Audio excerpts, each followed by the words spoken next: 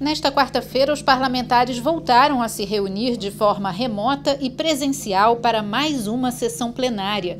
Foi discutido o projeto do presidente da Alerj, deputado André Siciliano, que determina que os laudos médicos periciais que atestem deficiências físicas, mentais ou intelectuais irreversíveis devem ser válidos por tempo indeterminado. A proposta foi aprovada e segue agora para análise do governador. Quem trabalhar como mesário em dia de eleições pode ficar isento das taxas de inscrição para concursos públicos no estado do Rio. O benefício deve ser aplicado em concursos que ocorram até dois anos após a data da eleição. É o que diz a proposta da deputada Marta Rocha, que recebeu nove emendas e retorna às comissões. Quando a gente permite que o mesário que prestou um serviço de relevância ao país não pague a taxa do concurso, é o reconhecimento da importância dessa atividade. Então é um, foi, na verdade, um gesto nosso né, para difundir esse trabalho e para garantir que esse, esse profissional que disponibiliza o seu dia de eleição trabalhando a serviço da democracia seja reconhecido. Também analisada a proposta que autoriza o governo a igualar a remuneração dos auditores da Controladoria Geral do Estado e dos analistas de controle externo do Tribunal de Contas do Estado. As duas funções atuam no controle da execução orçamentária e, por isso, segundo a Constituição Estadual, devem ter a mesma remuneração. O projeto do deputado Eurico Júnior prevê um impacto de mais de 31 milhões de reais no orçamento do ano que vem. O texto aprovado segue agora para análise do governador. A Alerj pode passar a realizar sessões itinerantes fora da capital. A ideia do deputado Luiz Paulo é que as sessões aconteçam às sextas-feiras nas câmaras de vereadores de municípios escolhidos pela mesa diretora da Alerj. Terão prioridade as cidades mais populosas de cada região do estado. O texto retorna à pauta para mais dois dias de discussão. Outra proposta altera o regimento interno da Alerj para suspender homenagens a agressores de mulheres. De acordo com o texto, pessoas que respondam na justiça por agressão doméstica não poderão receber medalhas ou diplomas da casa, a não ser que sejam inocentadas ao fim da ação penal. O projeto de resolução proposto pelo deputado André Siciliano ainda passa por mais dois dias de discussão.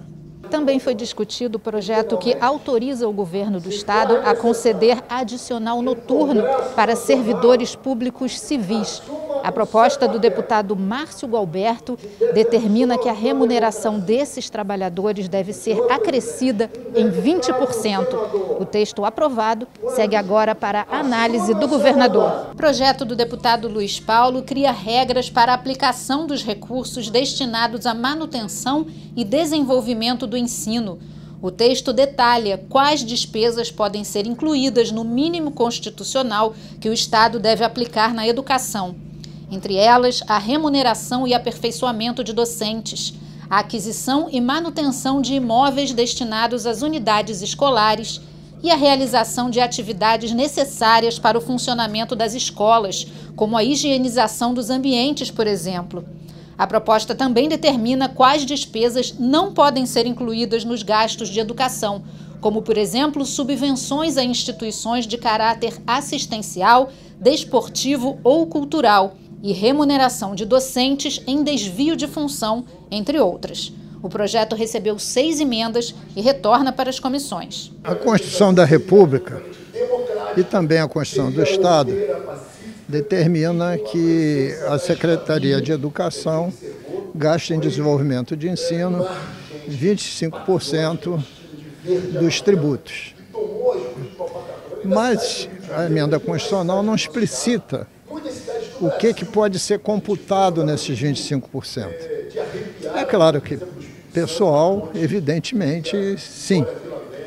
Então tem ficado ao longo dos anos, a critério do Tribunal de Contas, examinando as legislações existentes, o que pode ou não pode ser computado.